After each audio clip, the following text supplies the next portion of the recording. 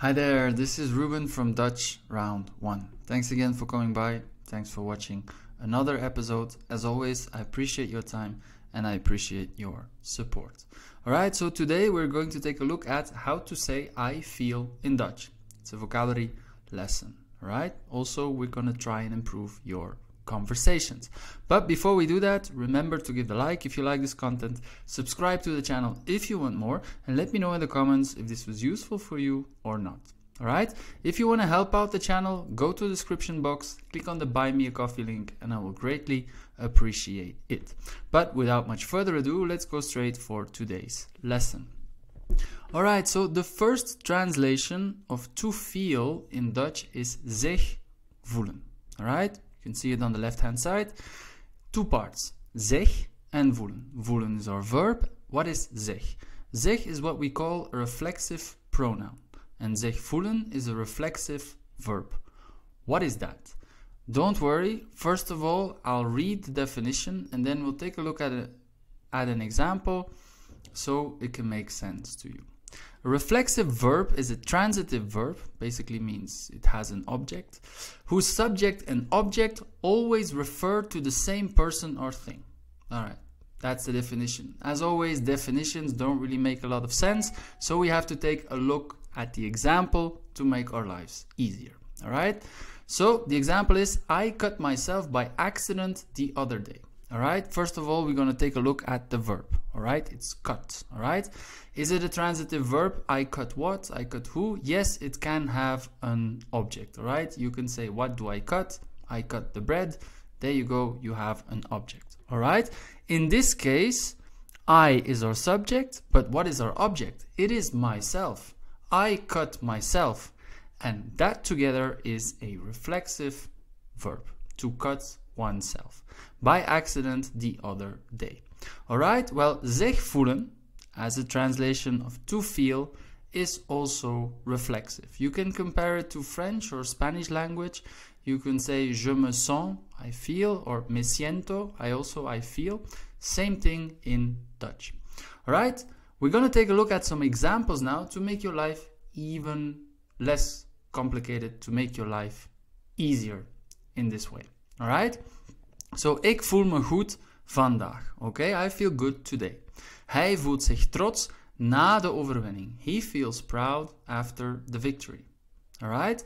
So you can see that in English we do not translate the reflexive pronoun. We do not translate the me, we do not translate the zich um, in English. However, in Dutch we have to say it. Again, we can compare it to French, we can compare it to Spanish where you would say me siento, je me sens, il se sent, se siente, and so on. All right? So it's the same thing, right?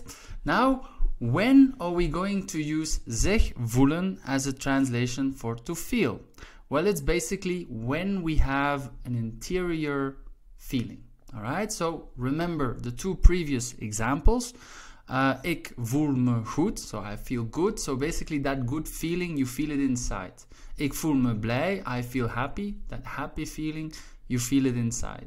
Ik voel me trots is basically I feel proud uh, inside. Alright, so if it's about an interior feeling, a feeling you feel on the inside, then you will use zich voelen as a translation for to feel. So you'll use the, uh, the reflexive verb.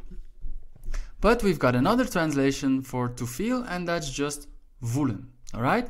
The translation of voelen is to feel, but it can also be sense, or it can also be get a sense of. All right. So voelen as to feel, voelen as to sense, and voelen as to get a sense of. In this case, we are speaking now about an exterior feeling, something we can feel from the outside, all right? So for instance, when it's cold, we feel the cold from the outside. When we touch something with our hands, we can feel whether it's hard, whether it's soft, and so on. So this is now the translation for voelen, all right? So let's take a look at the examples, all right? Ik voel de hitte. I feel the heat, right? It's warm outside, I feel the heat. So it's an exterior feeling you have, it's an exterior perception. Alright? We voelen met onze handen. We feel with our hands. Of course, we will use voelen, can also in this case be translated as sense. We feel or we sense with our hands. So again, we feel with our hands exterior things. Alright?